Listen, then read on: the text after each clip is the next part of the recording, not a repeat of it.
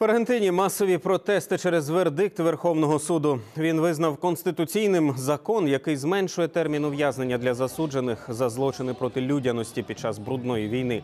Тепер один день у тюрмі рахуватимуть за два.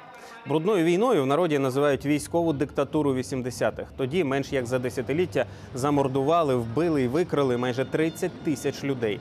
Під час розгляду законопроекту його різко критикував президент країни, але конгрес усе одно проголосував за.